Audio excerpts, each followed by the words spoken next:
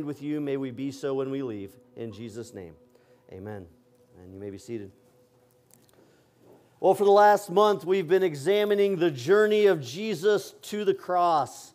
We saw his agony in the garden, we saw his betrayal and his arrest.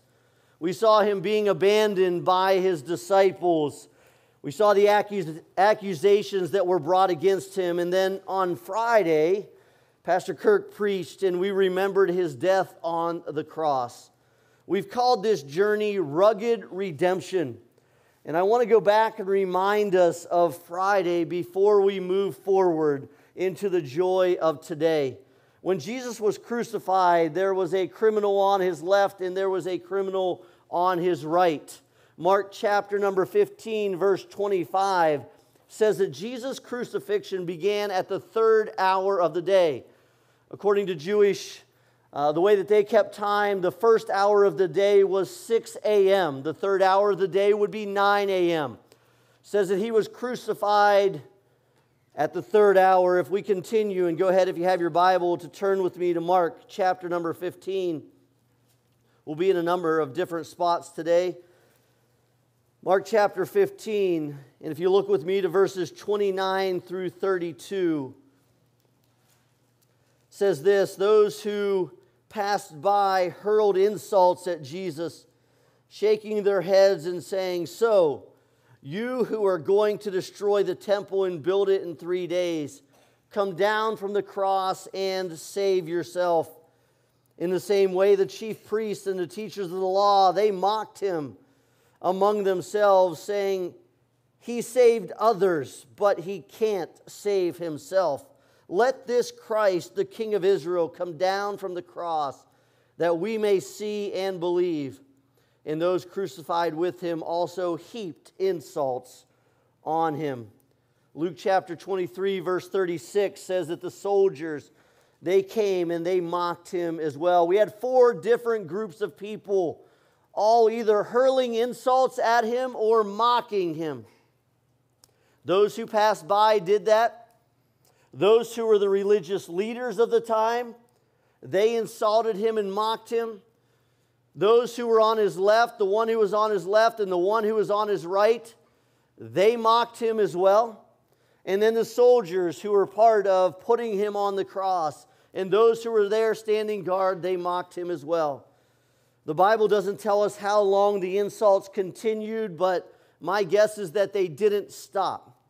And as it approached noon, after three hours beside Jesus, one of the criminals said to him, and this is Luke chapter 23, verse 42. After three hours beside Jesus, one of the criminals said this Jesus, remember me when you come into your kingdom. Something happened in those three hours. Being with Jesus makes a difference. A man who started the morning bitter and hurling insults at Jesus come to, comes to see him as his only hope. A man who was about to die without hope is divinely hanging beside the hope of the world.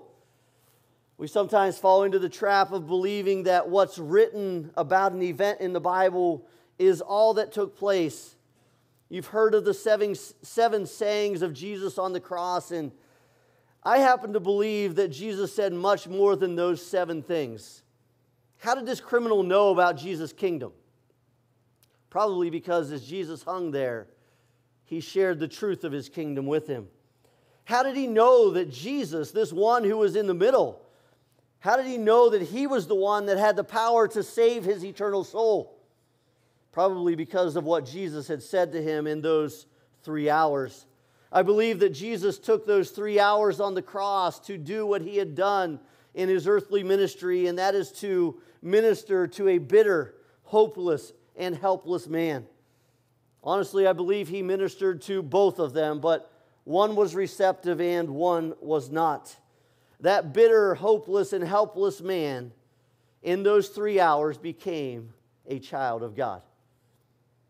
Luke 23, verse 43, we just read verse 42, is a very familiar verse where Jesus responds to this criminal The one who had said, Remember me when, when, you, when you come into your kingdom. And Jesus says these words I tell you the truth.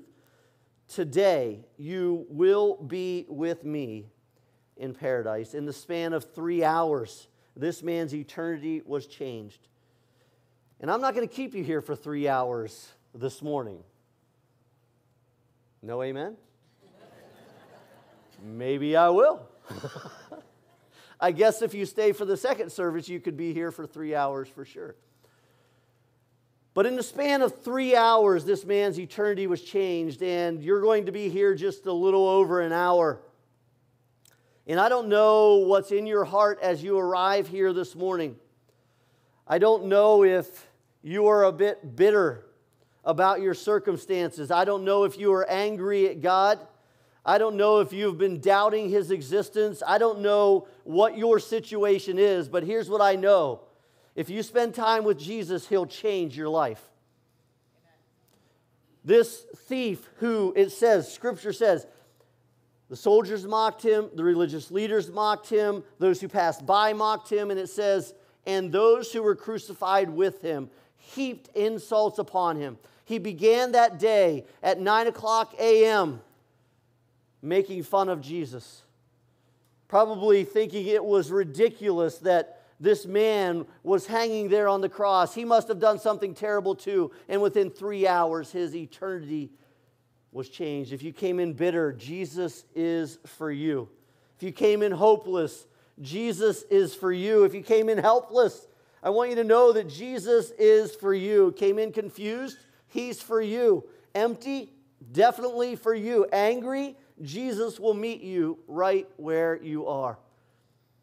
There's so much beautiful th- theology in what we can learn from Jesus just saying, Today you will be with me in paradise.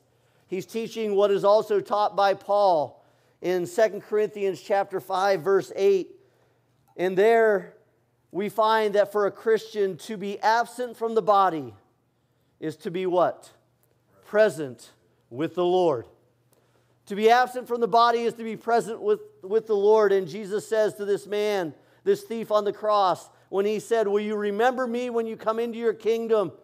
He says, Today you will be with me in paradise. This isn't going to be the end. This isn't, as some people believe, you don't just live your life on this earth and then cease to exist.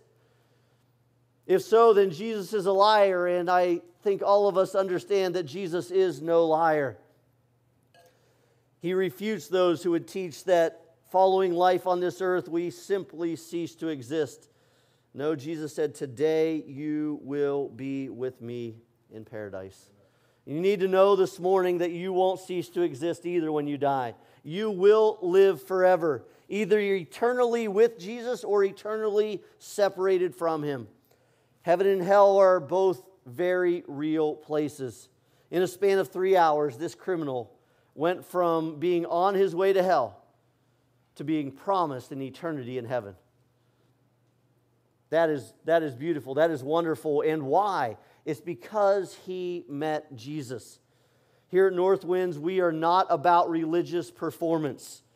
We are about introducing people to Jesus so that they can live in relationship with him through the course of this life and for all eternity.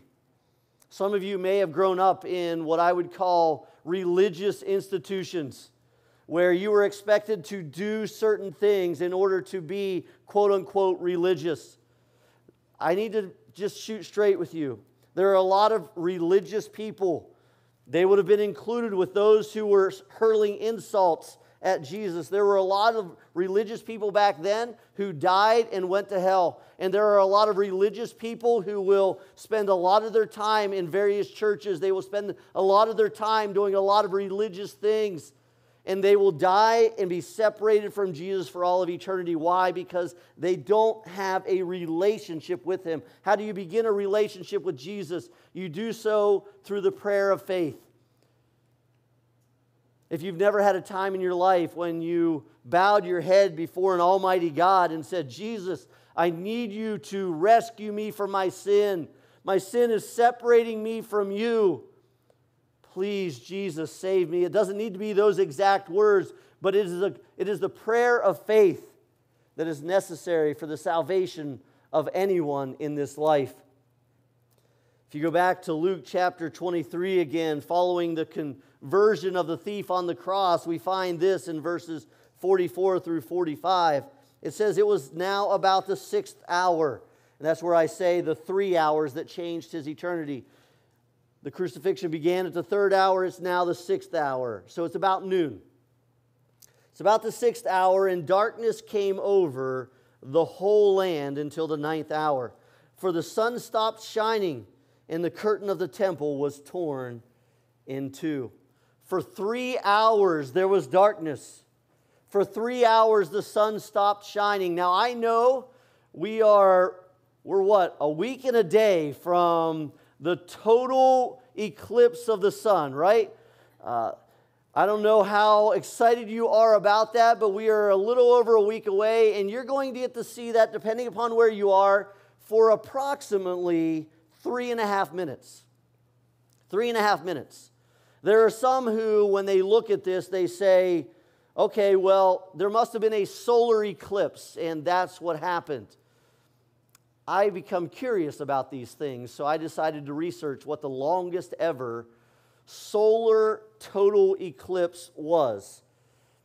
And the longest one on record was 7 minutes and 28 seconds on June the 15th of 743 BC.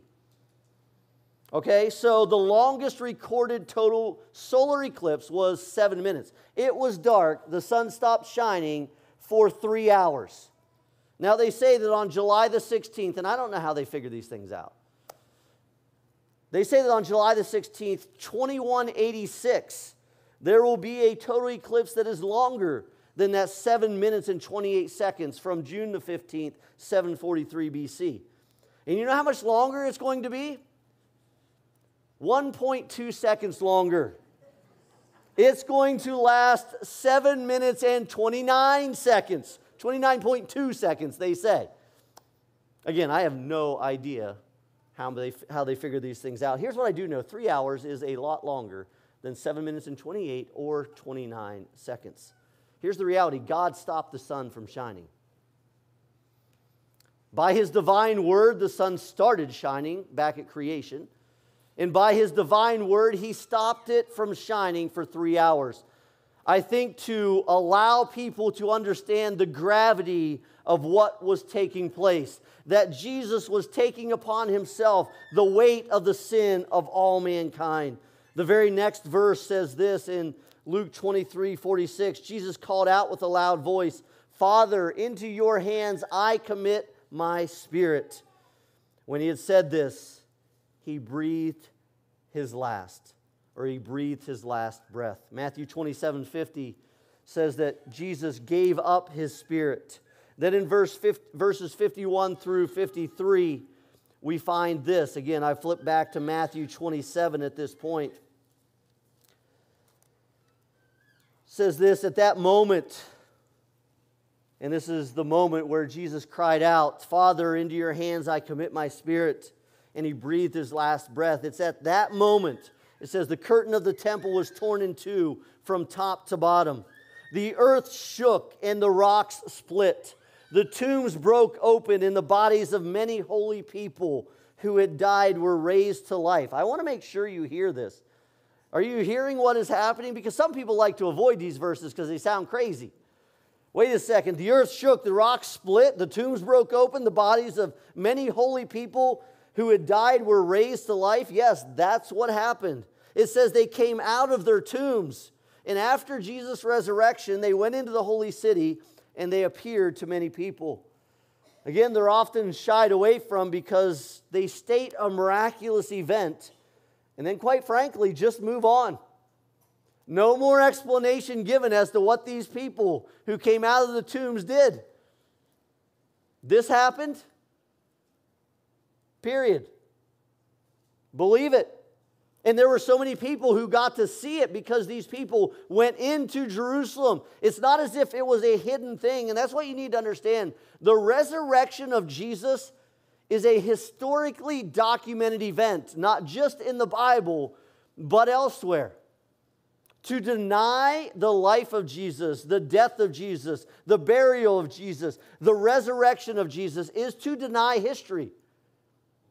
It's amazing what Jesus did and what God accomplished so that people would know this is my son. In him I am well pleased. He's dying for the salvation of the entire world. Here's what we should see from Jesus' death on the cross. Those, I think this is so cool, those in the past were affected by his death because those who had already died were brought out of the tombs. Not everyone, just many people.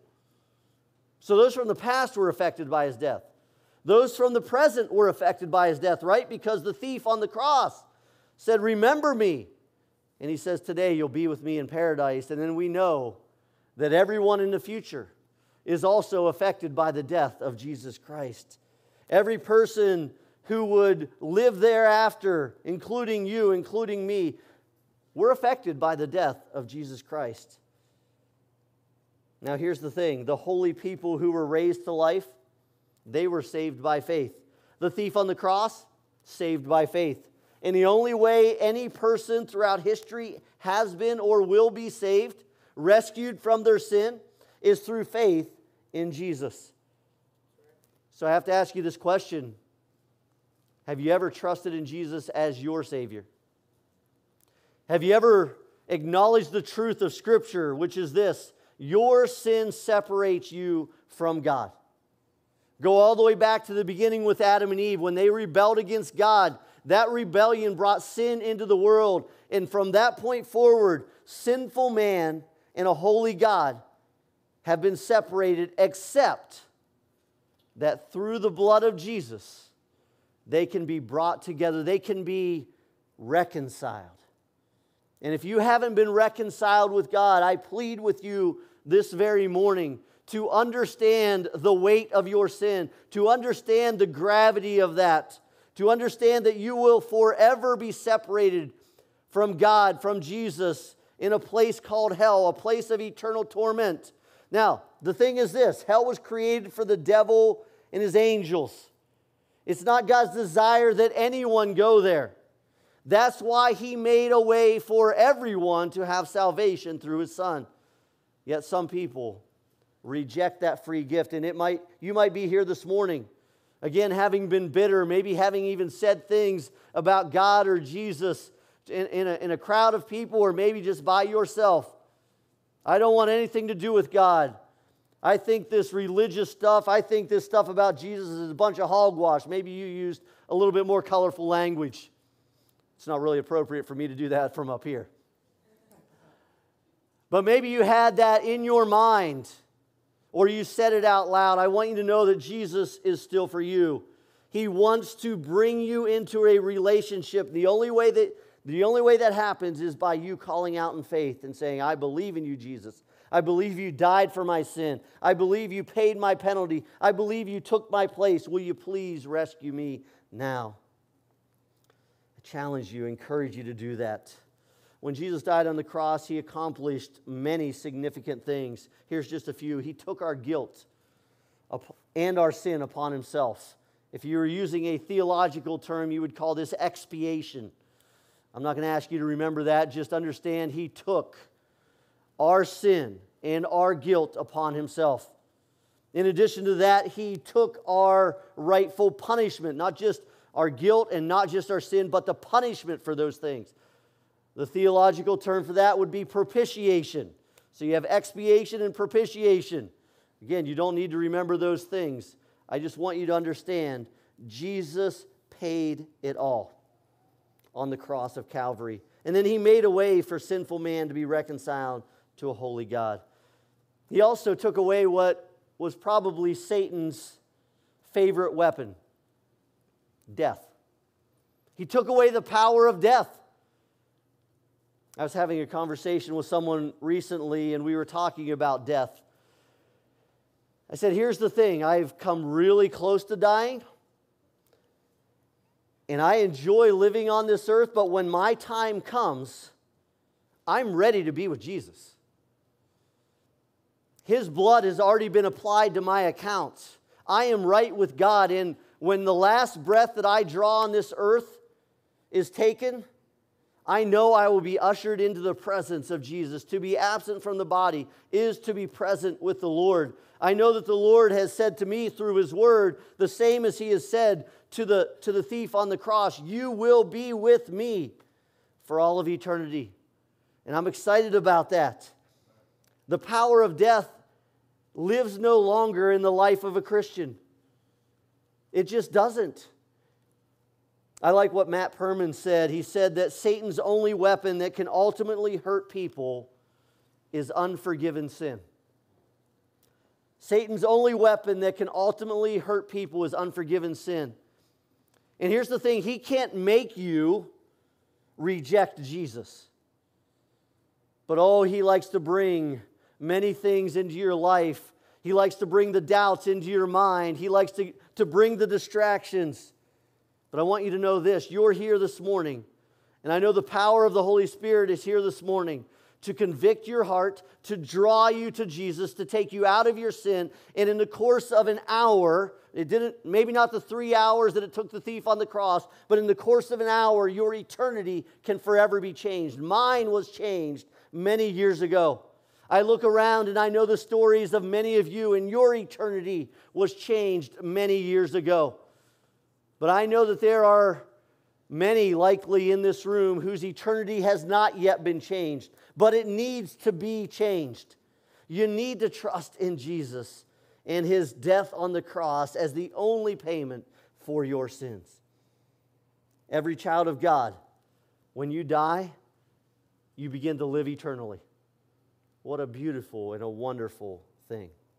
And speaking of living eternally, we're obviously here this morning to celebrate the resurrection of Jesus. I know we looked back at his death here just for a few moments, but we're here to celebrate his resurrection. He died in our place, was laid in the tomb, and then the end of Matthew 27 describes his burial. It even describes the way in which the soldiers went about guarding his tomb. Pilate says this in Matthew 27, verses 65 and 66 says, The high priest tore his clothes and said, Oh, I'm sorry, I'm in Matthew 26. I need to flip over one chapter to Matthew 27.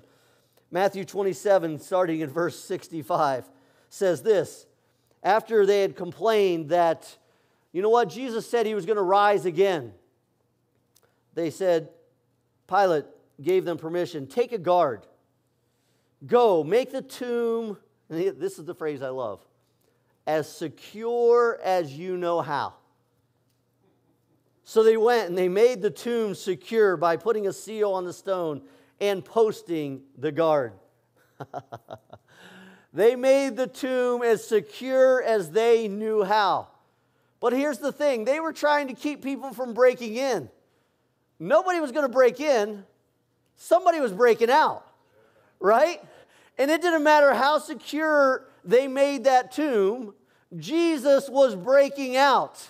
Okay? You can put him in solitary confinement of the tomb. You can put him in Alcatraz or whatever you would think would be the most secure place you could put someone. Jesus was busting out of the grave. And here's the reason it was part of God's divine plan. You can't go against God's divine plan. In God's divine plan, Jesus was going to go to the cross. In God's divine plan, he was going to be placed in the tomb. And then in God's divine plan, on the third day, he was coming out of the tomb. And I don't care how secure they made it, make it as secure as you know how. All right, well, we sealed it. We've got this big stone in front of it. We've sealed the stone and we've posted a guard. Every four hours, we're changing our shifts so that nobody becomes so tired that they won't keep their guard. We've got this. But they didn't got that. It's good English, by the way. I hope all you children in here are paying attention. Use that in a sentence this week. They don't got that. That won't work so well for you, by the way. Jesus was coming out. So, yeah, they tried to make the tomb secure, but Jesus was coming out, people weren't going in except for once it was open to see that he wasn't there anymore. And again, it was against God's divine plan for him to stay in the tomb. I want to look at Luke 24, and we're going to read the resurrection account. Luke chapter 24, starting in verse number 1. We read this On the first day of the week, very early in the morning, the women took the spices they had prepared and they went to the tomb. They found the stone rolled away from the tomb, but when they entered, they did not find the body of the Lord Jesus. Do you see the two things there? They found the stone rolled away. They did not find the body of the Lord Jesus. While they were wondering about this, verse 4, suddenly two men in clothes that gleamed like lightning stood beside them. In their fright, the women bowed down with their faces to the ground, but the men said to them, Why do you look for the living among the dead? He's not here, he has risen. Remember how he told you while he was still with you in Galilee? And here's what Jesus said, verse 7 The Son of Man must be delivered into the hands of sinful men. He must be crucified, but then on the third day be raised again. Then they remembered his words. I need you to see a few things from that this morning. The word of Jesus can always be trusted. The disciples didn't understand this. Wait, what? You've been leading us for three years. You've been talking about this kingdom. Like, we're ready for the kingdom, but he had a kingdom that was not of this world. He will set up his earthly kingdom one day. But what he was talking about was an eternal kingdom that everyone who placed their faith in him would be a part of. The disciples are wondering wait a second, you're telling me you need to be taken into Jerusalem, you need to be arrested, you need to be insulted, you need to, you need to be placed on, on the cross, you need to die. They didn't understand this, and they certainly didn't understand that he was going to be raised to life three days later. The passage that I talked about earlier in Matthew, whenever they said, hey, let's make this tomb secure as possible, in that thing, in that passage in, in Matthew 27, the soldiers, the religious leaders, they all knew what Jesus had said, but nobody really understood what Jesus was saying. Oh, it must just be a trick.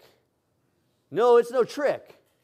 Jesus really was coming back to life. And that's why the angels say, Hey, don't you remember what he said? Now, here's what I need to remind you that he said. In John chapter 14, do you know what Jesus said? He said, I am the way, the truth, and the life. No one comes to the Father except through me. That statement of Jesus is every bit as true as the statement Jesus made that said, And three days later I must be raised to life again. Eternal life is found only through Jesus. That's what he said. They remembered his words, verse 8 said. They, they eventually remembered. They needed to be reminded, but they did remember. And maybe you need reminded of something that you heard long, long ago.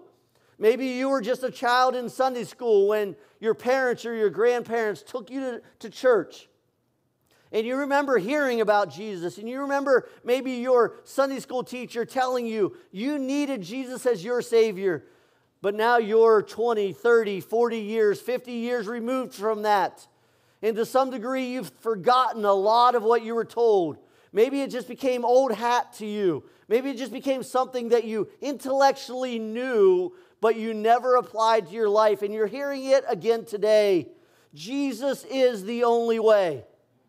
You need Jesus as your Savior. Will you trust Him today? The, the story, the account continues on in verse number 9 of Luke 24. When they came back from the tomb, they told all these things to the eleven and to all the others.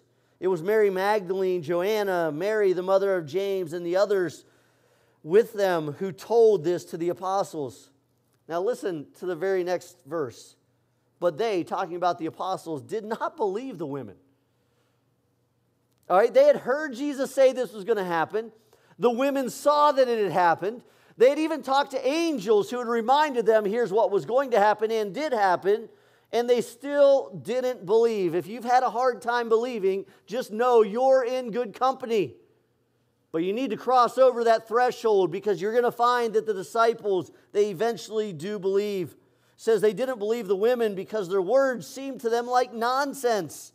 And the resurrection seems like nonsense to a lot of people.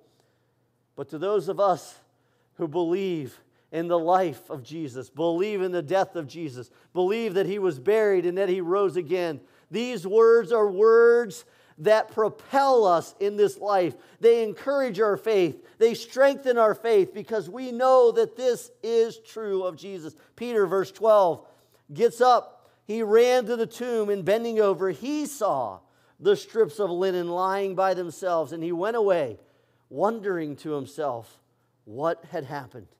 Now, there's a beautiful account that takes place right after this.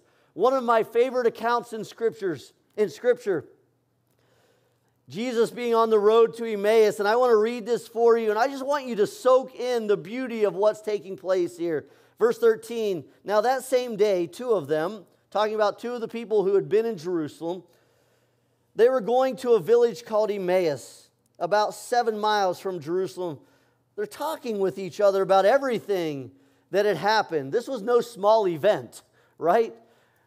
They had released Barabbas they had cried out, Crucify him, about Jesus. Everybody knew what was happening, and now we have murmurs and whispers. They say that Jesus rose from the dead. I'm hearing news about it. Like, I, I heard it from a reliable source. They're telling me Jesus isn't in the grave anymore. It says, as they talked and discussed these things with each other, Jesus himself came up and walked along with them. Oh man, you want to talk about a day. Jesus comes up and he starts walking with them. But they were kept from recognizing him, and he asked them, I'm going to insert one word here. Hey, what are you discussing together as you walk along? Now, the Bible doesn't say hey. I just imagine that's probably what Jesus said. He probably walked up, nudged them on the shoulder, and said, Hey, guys, what are you guys talking about? They stood still, their faces downcast. And one of them, named Cleopas, asked him, Are you the only visitor to Jerusalem? And do not know the things that have happened in these days? What things? Jesus asked. Well, the things about Jesus of Nazareth, they replied. He was a prophet, powerful in word and deed before God and all the people the chief priests and our rulers handed him over to be sentenced to death, and they crucified him. But we had really hoped that he was the one who was going to redeem Israel. And what's more, it's the third day since all this took place. In addition, some of our women amazed us. They went to the tomb early this morning, but they didn't find his body. Imagine, again, this is Jesus, the one whose body they didn't find. He's walking along. They didn't, they didn't find him. They came and they told us that they had seen a vision of angels who said that he was alive. I can imagine, even though it doesn't say this, Jesus is like, Really? They say he's alive, huh? Then some of our companions went to the tomb and they found it just as the women had said. But him, they did not see. Huh, really? Okay. So Jesus said to them, how foolish you are, and how slow of heart to believe all that the prophets have spoken.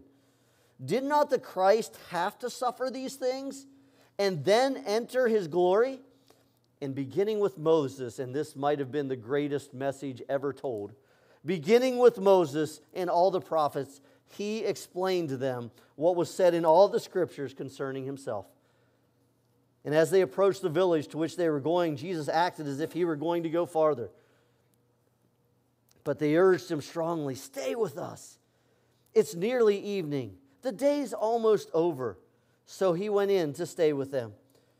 And when he was at the table with them, he took bread and gave thanks and broke it and began to give it to them. This sounds a little bit almost like the Last Supper, doesn't it? Then their eyes were opened and they recognized him. And he disappeared from their sight.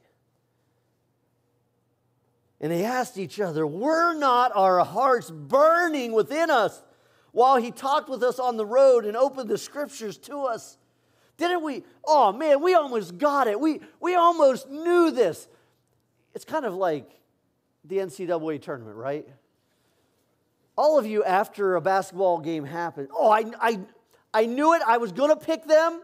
And I, oh man, I just knew that upset was going to happen. These guys are like, oh my goodness, we were walking along. He's explaining things about himself. And we're kind of looking at each other like, wow, this guy's teaching is amazing. Wow, this guy knows what he's talking about. How does he understand all of these things? And they're saying to each other, oh my goodness, we had Jesus with us all day and we didn't even realize it. And the moment they realized it, what happened? Jesus left.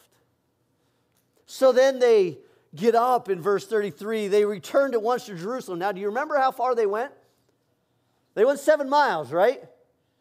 Do you remember what time they said it was whenever Jesus was saying, Hey, I'll go a little farther? Like, No, it's almost evening. Stay here with us. But after they go in and they break bread together and they realize, oh my goodness, this is Jesus, Jesus disappears, they get up out of their seats and they go seven miles back to Jerusalem because they got to tell somebody. You, you remember when the, the women came back and they said that, that Jesus wasn't there and they, they saw a vision of angels and the, the angels said that Jesus was alive. And you remember, like Peter then went and he couldn't find Jesus either. We saw Jesus. This is, I'm not kidding you. This is the honest to goodness truth. Like, we walked with Jesus for seven miles on the road. He explained the entire Old Testament to us, and it made sense. We sat down with him, we started eating together, and all of a sudden, we realized, oh my goodness, we're with Jesus. And then he left. And we had to come back here seven miles. Now, listen, I don't imagine that these guys were like marathon runners. I don't imagine that they were like in the greatest shape of their life, but I bet you they booked it back to Jerusalem. Maybe they were making a 10, 15 minute mile, whatever it might be, but they made their way back there and they told the story. Here's the thing that we need to understand the resurrection of Jesus was not something that was hidden. It was not something that remained a secret. If you flip over in your Bibles, this is going to be the last passage that we look at this morning. We're almost done. In 1 Corinthians chapter number 15, the beginning part talks about the gospel, the death, burial, and resurrection of Jesus. And it talks about how he appeared to over 500 people all at one time. It talks about how he appeared to the disciples. And then we get down and it talks about the resurrection. In verse 12, we find this, and this is Paul writing to the church at Corinth, and he says, If it's preached that Christ has been raised from the dead, how can some of you say there is no resurrection of the dead? Some of them were arguing, arguing and saying, After life, you cease to exist. There is no resurrection. Well, Paul's argument is wait a second. If we're preaching that Jesus was raised from the dead, why wouldn't we preach that everyone who trusts in Jesus is also raised to eternal life. It goes on and says, if there's no resurrection of the dead, then not even Christ has been raised. And we know he's been raised. All these people saw him. Even those two guys who walked with him, their eyes were open and they realized it was Jesus. They ran back to Jerusalem seven miles and they told him they had seen Jesus more than and in verse 14, if Christ has not been raised, our preaching is useless, and so is your faith. Now, listen, don't tell me my preaching is useless. It's not useless because there's power in the resurrection. And your faith isn't useless because there's power in the resurrection. There is eternal life that was accomplished through the death, burial, and resurrection of Jesus Christ. More than that, verse 15 we are then found to be false witnesses about God because we've all been saying, We saw Jesus. We've testified about God that He raised Christ from the dead, but He did not raise Him if, in fact, the dead are not raised. For if the dead are not raised, then Christ has not been raised either. And if Christ has not been raised, your faith is futile. You are still in your sins. Then those also who have fallen asleep in Christ are lost. If only for this life we have hope in Christ, we are to be pitied more than all men. Verse 20 is so beautiful. But Christ has indeed been raised from the dead. He's been raised from the dead. So our faith isn't futile, our preaching isn't in vain. There is the hope of eternal life. Some of you in the last year, you have lost someone very dear to you. And you have the hope of eternal life through Jesus Christ. Some of you maybe are facing friends, loved ones who are battling an illness even right now. And I would say to you the most important conversation you could ever have with your friend or with your loved one who is facing the reality of eternity, maybe sooner than what they ever would have expected in life, the most important conversation you could ever have with them is this Do you know Jesus is your Savior? I'm not asking you if you grew up going to church. I'm also not asking you if you just believe that there's a God. I'm asking you, have you ever had a time in your life when you prayed and you said, Jesus, I, I know I'm a sinner. My sin separates me from you. I need you to be my Savior. Because in Jesus, there is hope for eternal life. There is, this is talked about in 1 Thessalonians 4, a time when the dead will be raised to life, when the body and the soul will be reunited. We look forward to that time, the hope that we have in Jesus. This morning, as we celebrate the resurrection, I want to give you just two challenges, maybe three. You know how I am. The first challenge is this if you don't know Jesus as your Savior, don't wait another second. We've been here one hour and two minutes. It took three hours for the thief on the cross, but your time to hear this message is just about up. That thief on the cross, he started out one way, hurling insults. And I don't care if you came in here and for the last 25 years, you've been telling your family how stupid it is that they wake up and they go to church. I don't care if you have rejected him for 73 years of your life. I don't care what has taken place in your past. You are like the thief on the cross. It's time for you to change your mind.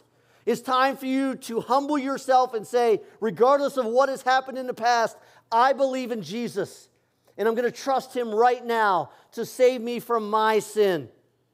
That's the first challenge. The second challenge is to everyone who's already a child of God. You believe in the resurrection, amen? amen? Since you believe in the resurrection, you believe that there is an eternity, amen? And since you believe in eternity, you have to believe that your friends and your loved ones are going to go one place or the other. They're either going to be with Jesus in heaven or they're going to be separated from him in hell. Push yourself to have that conversation with them, regardless of how difficult or challenging it may be. They need Jesus. Meeting and being with Jesus changes one's eternity. So, this morning, if you don't know him, I'm going to ask you right now to bow your head. Everybody, just bow your head right now. I'm going to ask you this question Have you ever asked Jesus to be your Savior? If you haven't, I want you to pray something like this. If you, if, you, if you realize Jesus did die, he really did get placed in a tomb, he really did raise to life again, and you say, I believe he did that to rescue me from my sin, I want you to pray these words. I want you to pray, Dear Jesus, I believe in you. I believe you came I believe you lived a sinless life. I believe you went to the cross. And I believe you were placed in a tomb. But Jesus, I believe you were raised to life. And as we just read, I believe you can offer me eternal life. So right now, Jesus, I ask you to forgive me of my sin. And I ask you to rescue me and be my Savior. I trust in you. If you did that, I want to rejoice with you. If you've already done that, if you came in here already being a child of God, we want to rejoice with you as well. This isn't the end of the journey. You can go ahead and look up at me here for a moment. If you prayed that prayer this morning, I have a little booklet I want to give you on the way out. It talks about your new life in Christ. It talks about things that will help you grow in your faith. Because coming to know Jesus and becoming a child of God is not the end of a journey, it's the beginning of the journey. Jesus broke out of the grave to offer eternal life and abundant life to all who would believe. And we want to help you on that journey. If you're already a child of God, I want to encourage you, or just became a child of God, I want to encourage you to share the good news.